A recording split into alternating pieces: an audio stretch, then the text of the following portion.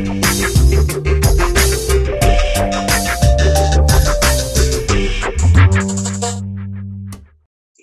right, so I'm so excited that we're back with another Teach Me How. I'm ready to give you guys some more great information that's going to help you learn how to develop these digital skills so that you don't have to pay people to do it. So we are on a mission, and I'm here today with Regina, who I have known for a while, and she is a badass boss lady, and she is also the founder and lead consultant of her firm, Red Perspective. So all the information about her, don't forget, will be down in the YouTube captions. You can see all of that great info. But welcome, Regina. I'm so excited to see you.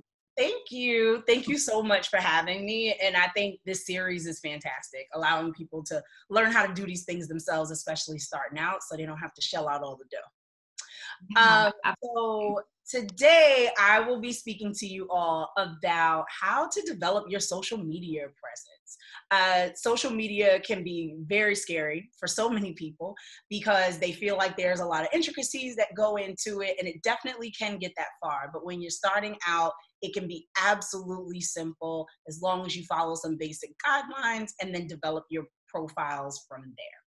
So I will start with talking to you about digital identity. So digital identity sounds pretty straightforward. It is who are you on these digital platforms. So it's allowing people who don't have the ability to read how you want to speak to them from a screen and being super clear about the voice and the messaging that you want to put forward. So, voice is basically your personality. Are you fun? Are you serious? Are you teaching? These are uh, the different adjectives that will help you define who you are on these different platforms. And then tone sets the mood, it adds a little flavoring to your voice. So, depending on your audience, depending on the situation you're speaking about, depending on the channel that you're posting on, you'll switch up your tone a little bit so people clearly understand the message that you're trying to convey on your social platform. So, of course, there are a plethora of social platforms that you can use. Depending on your business, you will identify which platform is best for you. That can be Instagram if you have a product based business that will have beautiful photos that would accompany it, or even if you have a coaching business or something along those lines where you want to show the different community that you serve and the different ways that people are receiving your message and loving it. Um, if you are leadership consulting or something more in the corporate realm, LinkedIn is definitely going to be the place for you. Uh, Twitter can actually be great for all of that, specifically if you have really important information to share. In these times right now, Twitter is an actual lifeline for people to learn about new businesses and to be able to share positive and important information. Uh, and then, of course, Facebook. Everybody should have a Facebook. You may not always use it, but everybody should have a Facebook, mainly because it links out to so many of these other platforms and it'll help you spread your message farther when we get into ads and different promoted um, promotional aspects. Um, and then, of course, YouTube. This is where we are. So YouTube is really important. Also, if you have um, very like video content, if you have interviews, if you have uh, just different things that would be really cool in video form that a still picture just would not give you enough. Totally mm-hmm. cool to get on YouTube for that. Um, so next we'll talk about community building. Uh, and I think community building is the biggest part, and Joy would probably agree, um, of your social media platform. Because once you identify who you are and how you're going to speak to the people, who are you speaking to? Who mm-hmm. your audience? So and your audience doesn't always have to be who's going to pay for your services. It could be colleagues if you want to position yourself as a thought leader. It could be competitors so you can show them what they're up against. But of course mainly you're trying to speak to the people who would be paying for whatever products or services you have to offer. So you want to make sure that you fully understand that community so you're providing them with content that they can engage in and want to learn more about you and what you do so I have an example for community building uh, on Instagram specifically. So, I want to share a social media platform with y'all for a brand called Mess in a Bottle. So, Mess in a Bottle is an expressive t shirt brand where they put messages on these t shirts, sweatshirts, bags, jackets, you name it. She puts messages on them and they come packaged in reusable bottles. What's really cool about Mess in a Bottle is her brand has been leveraged solely off of really strong community building. She made sure that she understood her community, what mattered to them, what they're speaking about, what really gets to the heart of them to keep them not only engaged, but interested in her products that express these things that they want to say and don't want, want to say in public. So she has amassed a following of over 122,000 followers after only being in business for three years, mainly because she's part of these important conversations right now, be a good human is a message that we all want to share to one another. She has these masks. We all have to wear masks. She has these really funny things. There's also a bunch of inspiring messages throughout her feed. She knows that these are the things that her community wants to learn about right now. This is what they want to be a part of.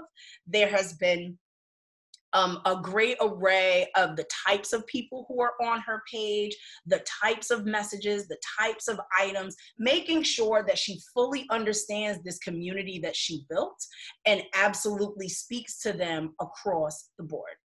So, Mess in a Bottle is a great example, even down to the babies. How cute is that? Mess in a Bottle is a great example of how you really get to the heart of who your audience is and make sure that you're speaking to them in a way that that resonates. So, how do you figure out your audience? Great question. Think about what it is that you're offering. So, if you have a product that you think would be really necessary for school teachers, yes, school teachers are your audience, but that's super broad, especially on social media, because you're you would be competing with different people who are offering products and services for school teachers across the board. You're just starting out. How do you narrow it down? Is it school teachers in a particular area? Is it school teachers that teach a particular subject? Is it school teachers that teach a, particular grade level? Really honing in on who your audience is and making sure that you are speaking directly to them, letting them know that you have a, a product or service that can solve a problem or issue that they have, and make it fun so another aspect of community engagement, um, community building is the actual engagement. You don't just want people to like your things and keep going. You want to make sure that you are keeping them engaged, you're asking questions, you are giving them something to be a part of. That's the whole point of the community. I harken back to the mess in a bottle page that we just went through a second ago. On her page, every question has a CTA. CTA is short for call to action. And the mm-hmm. call to action is not always buy this product that I'm that I'm hawking to you at the moment. The CTA can be how are you feeling right now? What's bringing you joy today? What is, you know, the challenging thing that you had to overcome this week? It really brings people across the internet, so across the globe together under your post and your social media output to really come together and realize I'm not alone in this. I'm doing this together. And there your community grows. Um, another thing that can be helpful for engagement outside of CTAs under your specific post, I'm sure, especially during quarantine, you guys have seen more IG lives than you have ever before in your life. I, every time I look down at my phone, someone else is going live, and I'm asking why. Still, again, today, it's crazy. But I absolutely think that for different brands, both personal and business brands, that going live on Instagram can be amazing for your engagement. The mm-hmm. same way you can ask those questions under your post to get people to respond, these IG lives are almost an open forum for people to do that together. So it's another way of bringing people together. And you can um, launch IG lives with other people and you can Mm-hmm. have your own conversation and then your followers are having a conversation in the chat. So it really is another great way to bring your audience together your community together. You may annoy some people who are sick of ig lives but it's fine. You'll make more people happy than you'll annoy. It's all good. Um, another example of that uh, facebook has the the same platform uh, i mean the same capability. You can go ahead and go live with someone. You can go and speak on a particular topic and it doesn't need to be an hour of you drunk. It's not a lecture. Uh, it doesn't necessarily need to be scheduled. These are all things that if you really feel like you can bring your community together for a particular conversation, that can also help boost your business, not just sales, but also brand recognition. Absolutely hop on one of these platforms with a friend, by yourself, have these conversations and invite your community to join you and comment and engage in a really meaningful way. Um, Twitter chats were also good for this as well. As you all know, using particular hashtags keeps you absolutely in the know with what's going on and keeps you abreast of breaking news and things of that nature. So, having a particular Twitter chat around a topic and using the same hashtag in the bottom, make sure that people can follow the information that you're sharing, the tools, tips, and resources that you're sharing, and ultimately the products and services that you'd like to offer. Um, and then live tweeting we have not been to live events in so long. Do you guys remember concerts? Weren't they great? Um, but when we do have, even if it's a virtual event, which is our lives now, um, you can go ahead and have live tweeting. So for people who may not have bought tickets, people who may not have registered, or you want to get more people in the door once the event has already begun, start sharing tips some highline notes or some really good points that speakers are making with the hashtag for your event that brings in of course your, oh, your already built in community but more people who are interested in that topic and they get to learn more about you they get to learn more about your event and ultimately always the end goal the products and services that you want to offer so now that you've done all of this to engage your audience, to build your community, and to get them to know all about who you are as a brand or a person, if it's a personal profile, um, and what you have to offer, how do you know if it's working? So here's where KPIs come in. KPI is short for key performance indicators. This is up to you to understand what's important for you. Is it the engagement? Is it where people go after they learn about you? Is it um, how many likes or shares you got? Really understand what engagement on these different posts across these across these different social media platforms are important to and really needle moving for you your business and your identity. Um, and then once you figure out what those actual indicators are what are those numbers? What are the criteria so if every post gets 10 likes and that makes you feel good, then that's your then that's your goal. That's your analytics goal.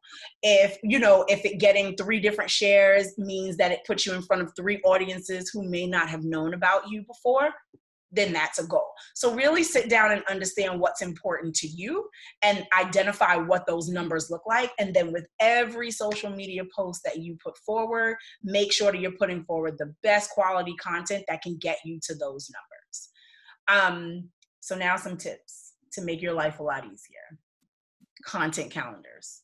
Create them. Mm-hmm.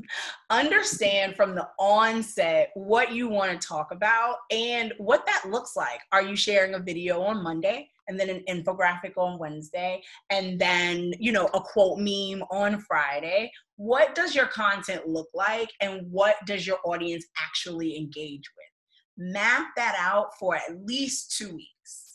Have it set up so that you know exactly what's going out and monitor it as it's going out. You may have thought that a meme on Wednesday was cool, but you realize that people really like memes on Fridays. Really understand what's happening with your platforms and be able to optimize and change that in real time. That's the beautiful thing about digital marketing. It's all numbers, it's either working or it's not. So you have the opportunity to switch and optimize in the middle, and nobody will be mad at you about it. Um, another thing that's really good with these content calendars are these platforms that schedule your posts.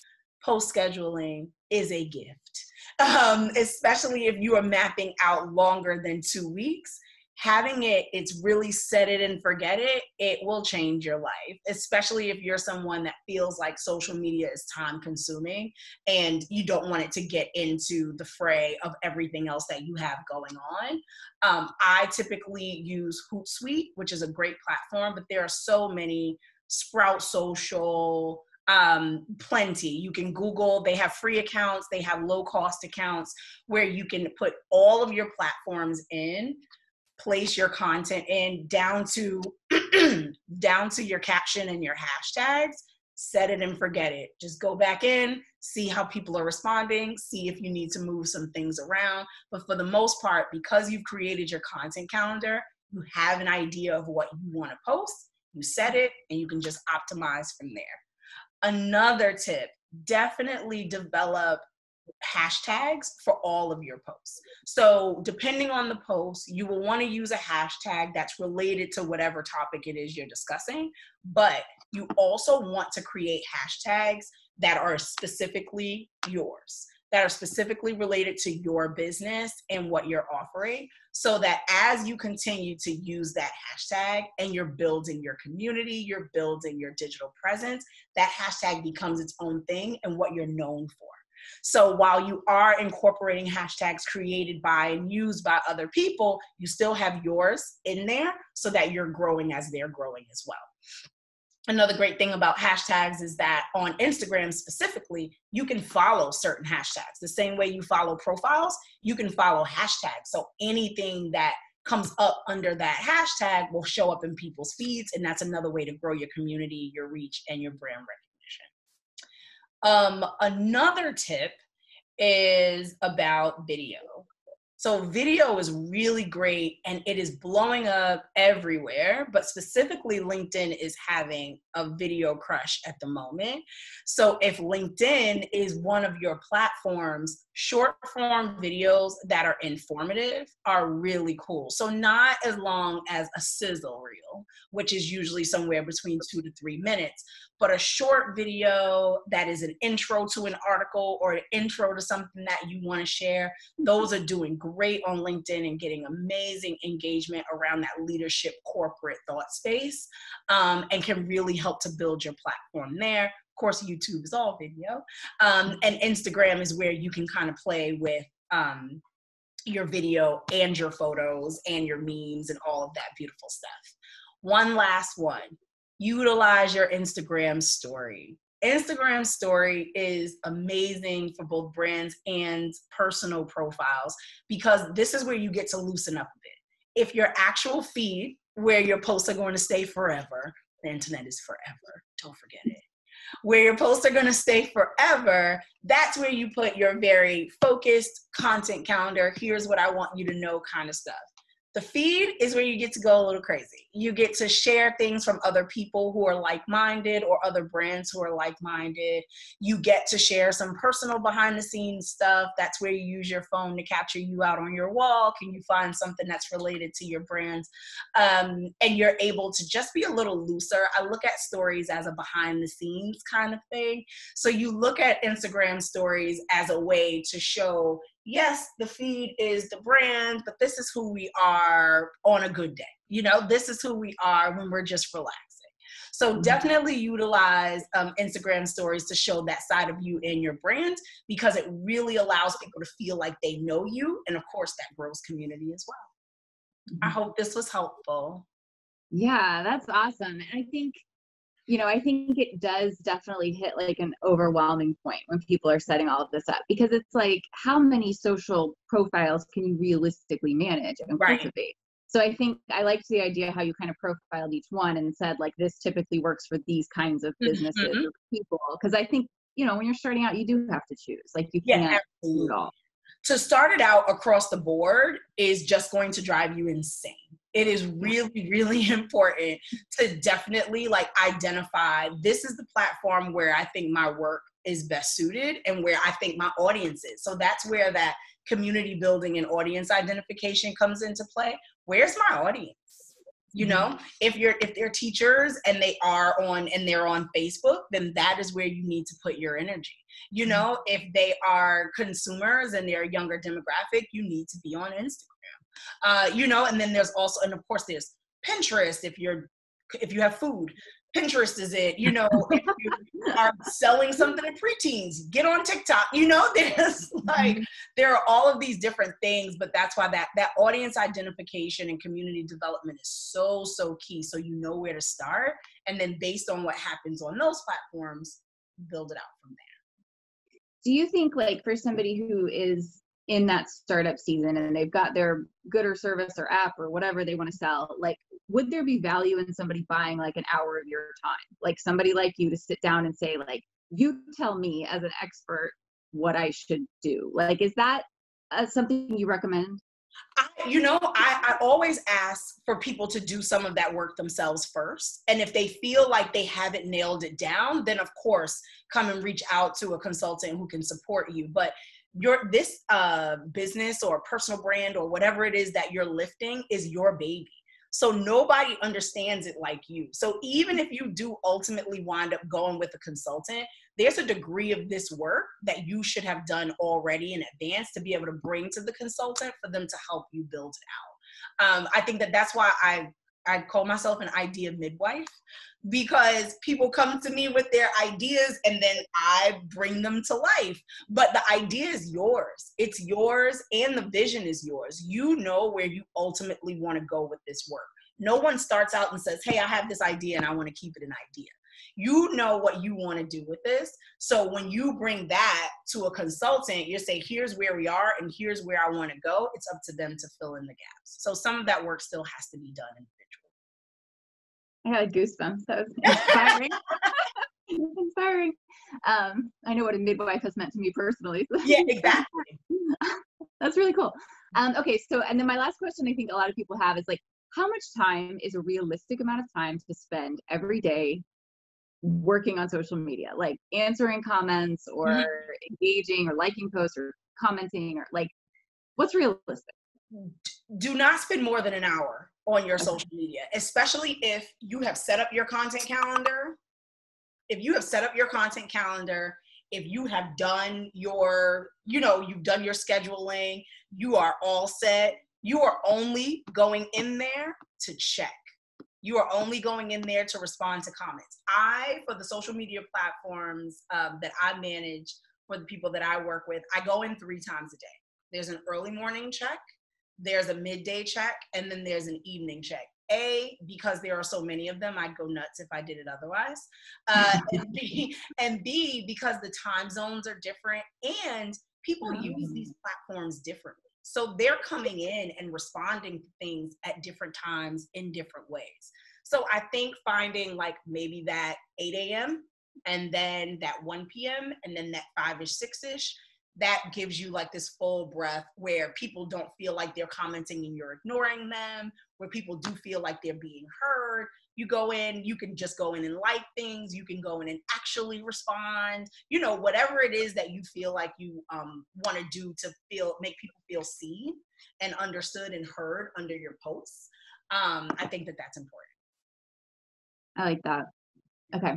And I think it's good that, you know, you frame it in the sense that you are building a community. I think a lot of people think a social media is like either a necessary evil or it's a means to an end.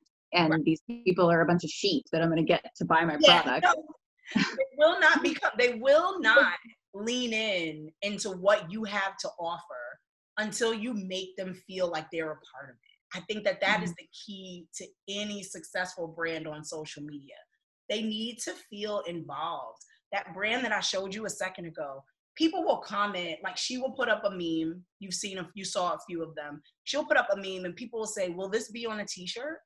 And she'll try it out on a t-shirt. You know they feel heard. They feel a mm-hmm. part of the process. They feel like okay wait this is our brand too. And that is what builds brand loyalty and community. Awesome.